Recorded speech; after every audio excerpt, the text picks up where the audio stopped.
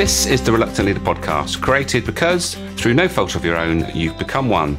I'm your host, Mark Terrell, and I know how it feels when you're getting ground down by people issues, constantly firefighting, and wondering how on earth you ended up here. In each episode, I invite a guest to discuss a topic and give you three, sometimes more, top tips that will help you in your leadership role. They are experts in the field, and you'll find out why they do what they do and what took them down that path. For more resources to help you on your leadership journey, check out the reluctantleader.academy, where you'll find details of how to join the Reluctant Leader Success Path. So let's see who's in the hot seat this week. Today I'm talking to Eoin McQuone. Eoin's 30 year career path has taken him from engineering through marketing to company director with a depth of experience in business strategy, leadership, and corporate social responsibility. He's an optimist and passionately believes that business has a positive role to play in promoting prosperity for all while protecting the planet. He helps businesses to approach sustainability as an opportunity to drive growth, fuel innovation, and ignite passion. Hope you enjoy this chat we had about sustainability, and I'll catch you all on the other side.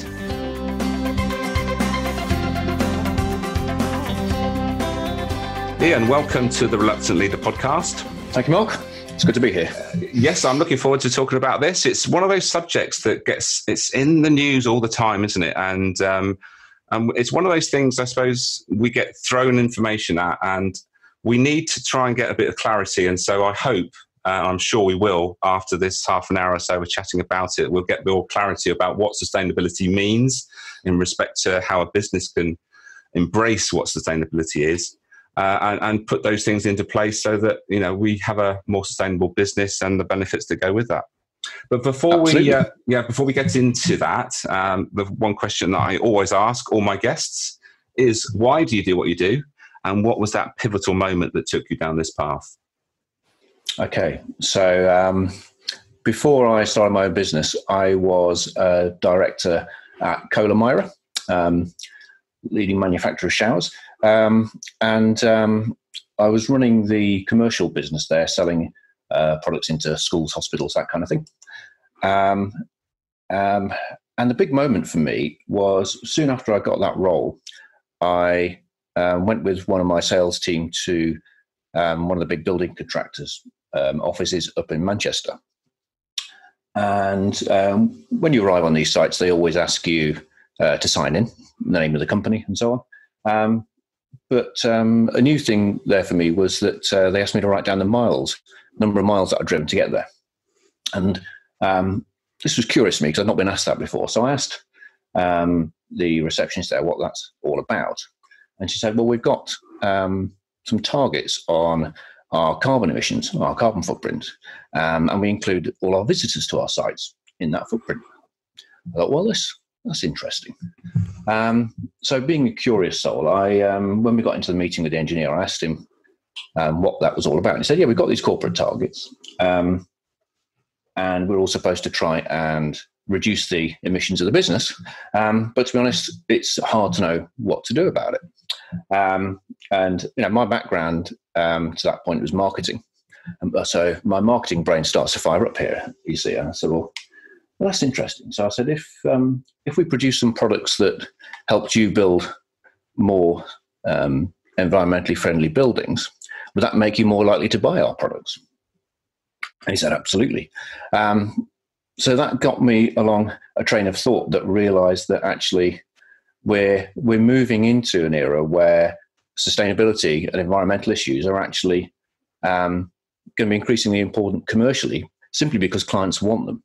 Um, and when you actually started to look at the that whole market of um, commercial buildings, we realised that something like 60% of commercial buildings have got an environmental specification, and that's only growing. Um, and that really was a light bulb moment for me to say, actually, what we should do is to put sustainability at the heart of our business strategy and build our products and services um, and our way of going to market around this emerging market, this emerging trend of um, green buildings.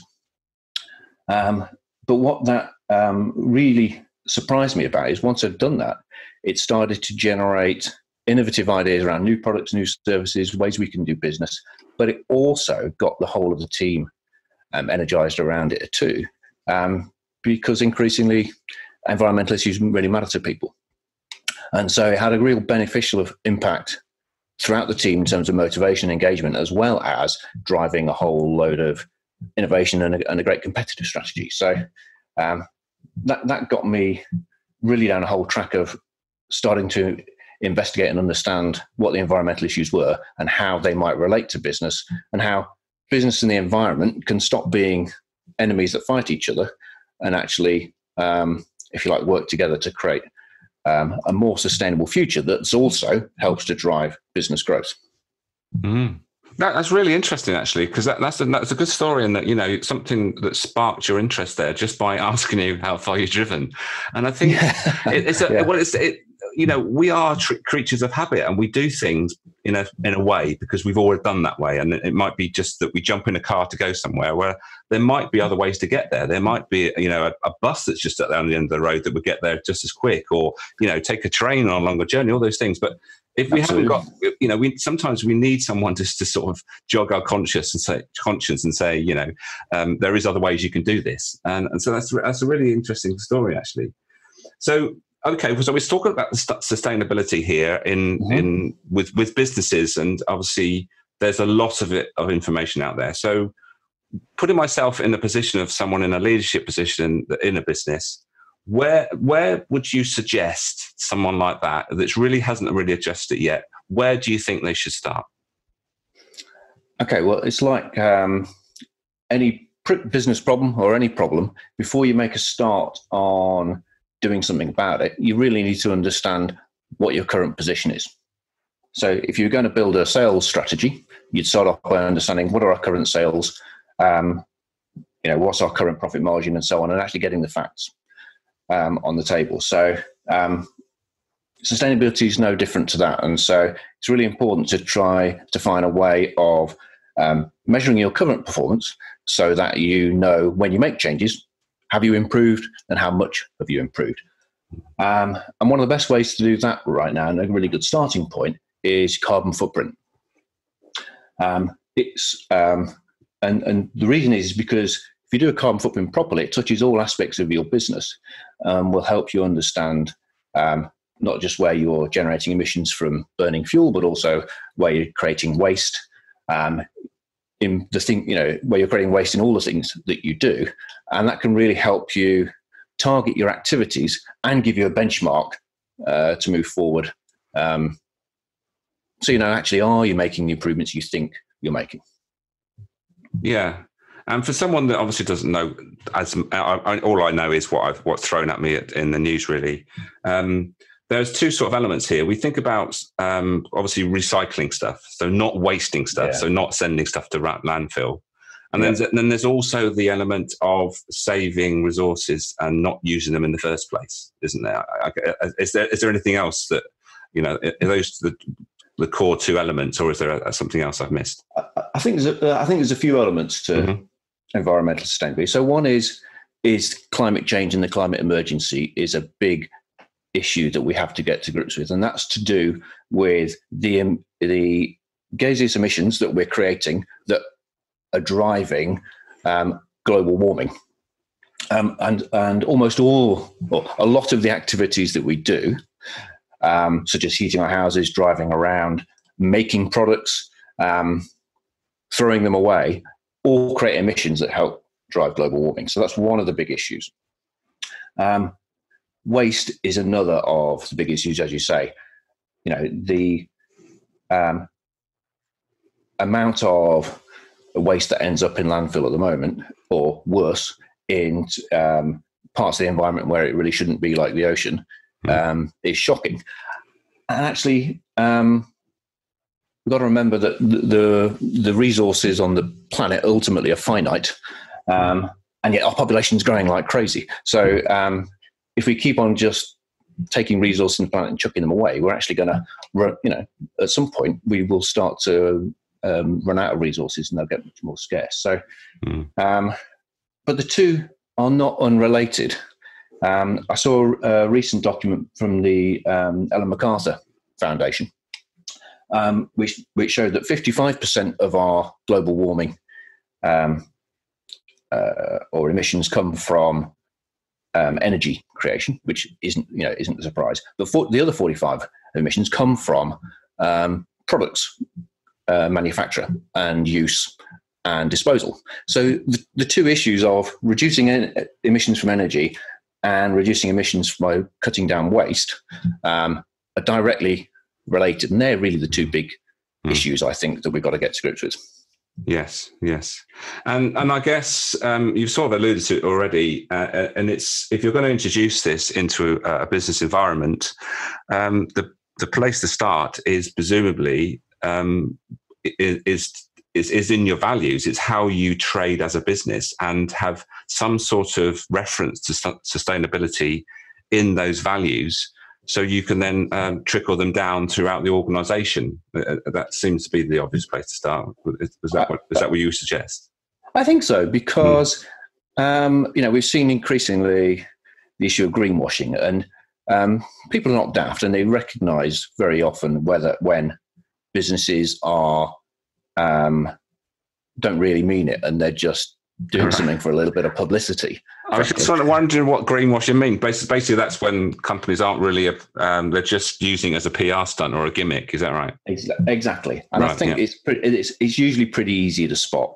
Hmm. So you're absolutely right. You have to get your values right in the first place and ask yourself, do you actually mean it? And are you going to get behind it? And ask all of your employees to get behind it um, as a core value of the organization. Um, because your employees will spot it too. And if if you don't embrace it as a core value, then what happens is what you do doesn't align with what you say.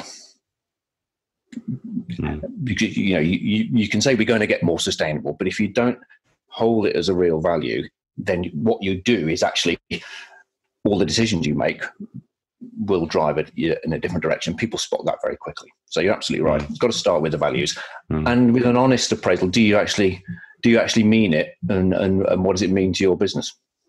Yeah, and there's lots of obviously implications uh, once you go down this route, which will there will be costs. That's the thing with any business. The first thing that most people will focus on is what's the cost of this um, and I know we've talked about the cost of the planet and all that stuff, but when you're running a business, that isn't your immediate concern. What your immediate concern is, is you know what's the what's it going to cost? What's the impact on my bottom line if I start to do this? Because as we know, most things need an investment up front.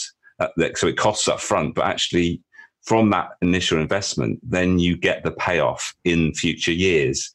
And, and, and I guess that's something that you have to sort of address uh, at an early stage. No, absolutely. Um, mm. So there are costs and there are investments involved. At the same mm. time, there are great benefits to be had too. Mm. So um, you know there can be costs in, um, say, investing in um, uh, re- renewable energy or um, lower energy equipment or removing waste. But almost all of those projects, if you do them, if you look into a medium and long term view, um, are ultimately going to save, likely to save money. So there might be some upfront investment, mm. um, but there's money to be saved along the way. And um, if we want to create a business that's sustainable for the future, we'd hopefully be looking beyond just this year and we're looking into three or four, five, or six years. And that's when the benefits can start to come from a cost saving. But I think there's a much bigger benefit for a lot of businesses, um, putting aside the cost issue, which is that both consumers and business customers want to buy sustainably. And I think cons- they're ahead of, of a lot of businesses. So, you know, I've seen surveys recently with as many as, you know, three quarters of customers and three quarters and similar number of business buyers um, really puts sustainable values at the heart of their buying decision. And so if you can respond to that and mm-hmm. demonstrate genuinely that you're trying to operate more sustainably and trying to offer more sustainable products and services, then I think it's a great opportunity to grow your business, which is what all business owners, all business leaders are trying to do ultimately. Yeah, absolutely. And, and you alluded to there, really, it's actually starting with what your clients want or your customers, isn't it? And finding out what they they, they really value and, and, and obviously deliver something around those values uh, it would be a good good place to start. Yeah, no, absolutely. I, yeah. I, I, I'm really one of the things I say a lot when I'm talking about this is stop thinking about sustainability as a cost and mm. start thinking about it as a business opportunity because it really is. Um, people, you know, as I say, consumers want to buy it. Um, but you, as with any business opportunity, the best place to start is by understanding what your customers really want and really need. And so um, you know, start that conversation with them. Don't be afraid to start that conversation, even if you haven't done a great deal at the moment. Um, start that conversation in a low key way because you'll start to understand what matters to them. And then you can tailor your sustainability activities in a way that really matters to your customers. And that's going to be the key to making it um, truly you know, sustainable for your business because it, there's nothing better for a business than delivering um, to your customers what you what they're looking for. Mm. And as you alluded to earlier as well, and when you talked about, you know, um, when you had the experience with the um, how many miles have you driven, and you asked the question, why are you doing this? And then you sort of then you carried on and thinking about, well, what the implications of this? Then actually, mm. the implications are if you can actually think about your offer and that, that it is sustainable, then that opens up a new market to you, doesn't it? It it does absolutely, yeah. and um, you know that that to me is the key to actually making a more sustainable economy and a more mm-hmm. sustainable way of moving forward. Is it has to work for business, yeah, mm-hmm. and and so if you think about how can how can we move sustainability from the realms of doing good what some organizations call corporate social responsibility. How can we get that closer into the heart of the business and actually drive growth from it? Because that way we have a much bigger impact and and and um, and we'll be much more committed to it because we can see the, the business benefits that it's driving. Yeah, and it becomes like a natural thing we do all the time. It's like absolutely, and, and everything we do. How does this um, affect our sustainability? And is this good? It's um, how is this going to be viewed? It's like you know having a, a policy about um, you know low carbon and, and all that stuff, and then you know your corporate, you know the the CEOs um, flying around in a in a, a private jet. You know, yeah. it, it, just doesn't. It's not. It's, it's going to shout. Well, you obviously don't believe in what you're what you're saying. You're just doing it just because you think you're going to make more money. It's not really something you believe in. Absolutely. Yeah. At the same time, we shouldn't be afraid of making money from it when mm. we're doing it the right way and for the right reasons. But that's yeah. what I was talking about the greenwashing earlier. If you say mm. one thing and do another, people spot it very quickly. Yeah, yeah, and I, I, think that's the whole point, isn't it? It's it's deli- it's getting to a point where people understand it's it's an opportunity. It's not. Yeah. Yes, there's going to be a, there might be some investment up front, which with anything, anything that's good, whether it's new equipment or those things that that you have to invest in, but ultimately you're you're going to get a payback, uh, yeah. and and, and that's what most businesses are going to look at, aren't they? Yeah, yeah, and, and we shouldn't affect, also forget the payback that we get personally mm-hmm. um, as business owners in knowing that actually we're helping to create a future that's more sustainable for the next generation too. Absolutely, you know, yeah, yeah. Business owners that I speak to, that's that's actually a really important motivator too. Yeah, yeah, and they've they've got family and what have you come along, and they think, well, I want to do my best uh, to show show the way, and and it's about introducing new habits that hopefully people will carry on, and that's sure. that's the thing, isn't it? So I wonder yeah. at this stage you could share maybe some some some stories of you know the sort of work you've done with your clients and how you've helped them you know to to to, to sort of embrace this sustainability. Sure. Well, I've been um, doing some work with um, uh, family-run business in Tewkesbury called um, the Name Label Company. Hmm. Uh, recently, they make um, personalised name labels for clothing and the like. Hmm. Um, um, and but they're really um, Matt and Emma. They are really committed to uh, making their business more sustainable, and they asked me to help them uh, as a starting point to calculate their carbon footprint. Um, because you know they, they recognise um, the benefits of doing that. As I say, that getting that stake in the ground and then knowing where to go, and it's it was quite an eye opener, I think, for them when I uh, talked them through the process to realise there's something like 18 different categories of um, um, of emissions creation that we uh, that we potentially look at. Not every business will be um, creating emissions in all those 18 categories. Mm. Um, it's a little bit more complex than we thought, but yeah. um, than they realised. But the advantage of what they did say is, I'm so glad that it's as thorough as this because we don't want to be just paying lip service here. We really want to make a difference, and by delving into every aspect of the business, this is going to help us to do mm. it. So I thought that was a wonderful uh, way of looking at it. Yeah, yeah, and then and I guess you then help them implement, start implementing how they can start reducing whatever that figure was once you've got well, that'll, be, that'll be, the, that'll be the next stage. Yeah, uh, we, we we've just finished um, the actual first stage, the calculation piece. Mm-hmm. The, the, next stage is then to decide actually where do we go next with that. Yeah, and, and obviously it's important uh, to be able to measure up front, isn't it? To see where your starting point is. You, again, you mentioned it earlier.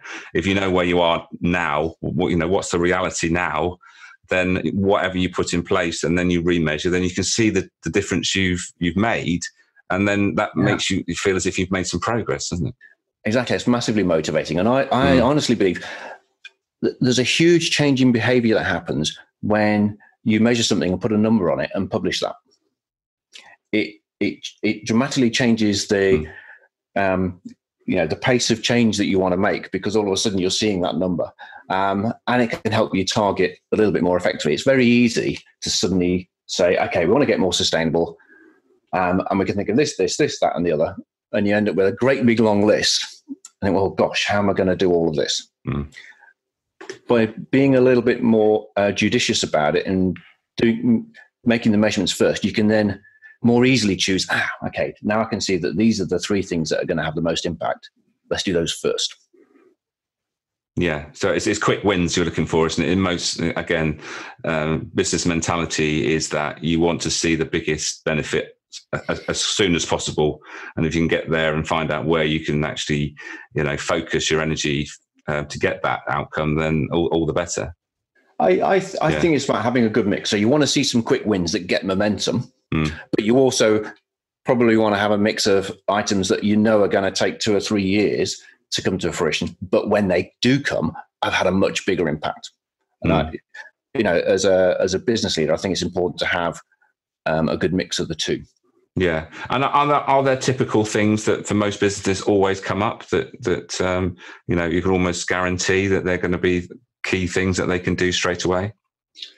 Um, so the the big items are typically any, any business that has premises. You're looking at heating and electricity, mm. uh, big ticket items. So um, moving to um, renewable electricity supplies. A lot of the it, it's now relatively easy to move your electricity supplier to one who's producing all renewable or a mix of renewable electricity, and that's a mm.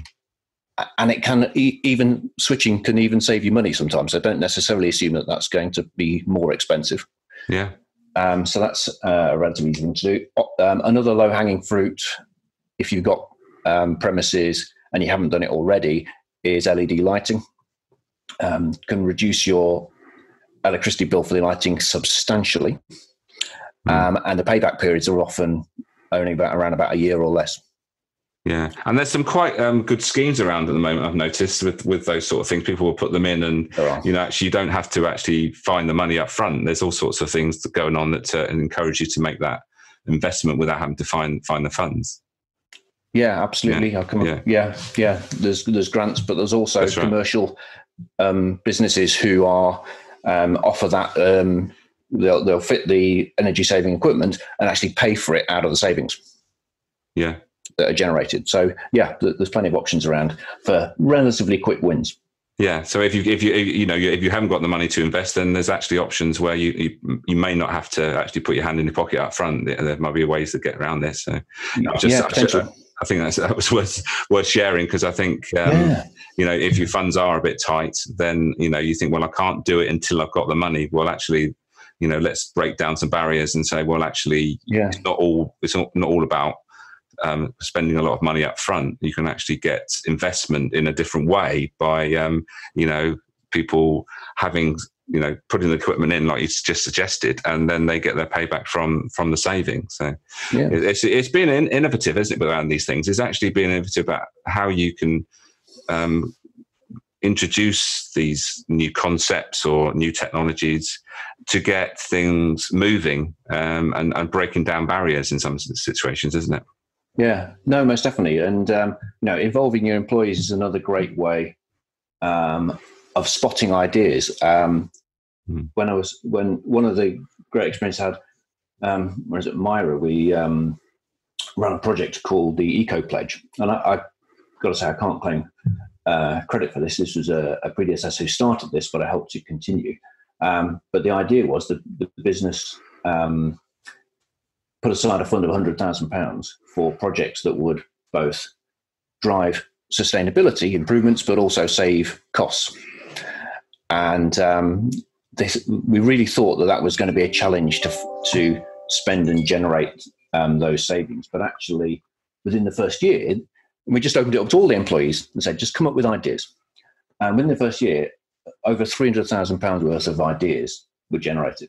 And second year, it was close to half a million. So, wow. um, and, and these were ideas that were sitting on the table that were in people's heads, but for some reason they hadn't felt able to um, uh, to uh, articulate them. So um, the, it was amazing, really, the the opportunities that were there. Yeah, so that is amazing, isn't it? And you know, the payback there is is enormous. Um, oh, yeah, yeah. It's, it's, it reminds me of that. Uh, what is it? Some of the um, I, am not sure whether I'm right in saying it's Google or one of the big companies. They they give their um, employees 20% of their time is to, to spend on anything that they feel that they want to um, yeah. that might, might benefit the, the, the business. Uh, and it's a similar sort of scenario, isn't it? There's some funds, do what you yeah. do with it, and then see what happens. And it's amazing how creative people can be. Yeah, absolutely. And, uh, you know, many heads are better than one. yes, yes. I'm, I'm spending a lot of time thinking about that because what we, um, you know, what we we stifle creativity and innovation by bringing together too too many people that are like minded. What we really need to to do mm. is bring together people that are from di- diverse backgrounds, different age groups, all those things, and then give them the same problem and see what happens and interact those ideas and see what comes out. And it's amazing how those that can have a massive effect on you know what comes out and and, and the ideas that can be can used is is, immense, is immense. It is, yeah, and that's why I love running workshops with clients as well. And what mm. I find is the best participants of those workshops are the ones who are skeptical at the start who are, hmm. are, voicing, "Are you really sure? Is this right? Um, you, you, know, is are we going to be able to do that?" Because once you, you can get them engaged, actually, um, they're often the ones who actually have some of the best ideas, but also help you test the ideas so that they become more robust. You know, so um, mm. that diversity of thought is really critical.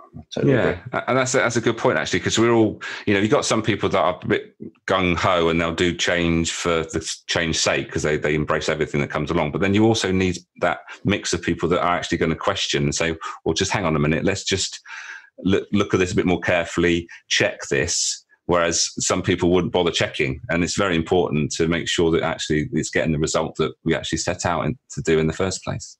You absolutely need both. Yes. Yeah, absolutely. Yeah, a good, a good balance. Um, so, Eoin, unfortunately, we are rapidly running out of time. These half an hour seem to fly by. Um, um, so, we get to the point where um, we want uh, to think about some top tips uh, for the listeners to take away after listening to this um, sustainability topic, which um, hopefully we can sort of distill some some um, clarity as to how people can walk away and start thinking about how they can introduce this. So, what would those those top tips be from from from where you where, where you are? Yeah, so I think we've already mentioned top three. Really, 1st mm-hmm. one for me is know your footprint, know your carbon footprint, because understanding where you're starting from is really important, and then you can understand the improvements that you're making. Second one is, you know, think of sustainability as a business opportunity. And so start by asking your customers, what does sustainability mean to them? And what matters to them? And that will help give you ideas about um, where to take your business forward in a way that will help drive growth because you're responding to the needs of your customers. Um, and the third one we've just been talking about there, involve all of your employees in the efforts because that diversity of thought and opinion and experience will take you will give you results that you never dreamed you could have for sure. Mm. Fabulous. Great sum up there. Um, so, Eoin, thank you very much for your time today. It's been really interesting. I'm sure listeners got great value and maybe start to, think in a different way about what sustainability means and hopefully um, bring that into their, the, the, working environment sooner rather than later. Well, that'd be fabulous. And um, thanks for inviting me, Mark. I really enjoyed it.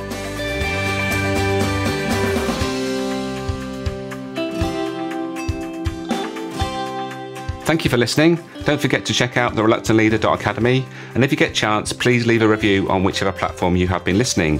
And also share the love by sharing the episode with someone who would benefit. Leadership is a choice. If you have the right mindset, know the process to follow, and the key skills to use at each point in the process, you have everything you need to leave a lasting legacy. Don't forget to put into action anything that has struck a chord in this episode. And until next time, be the best you can be.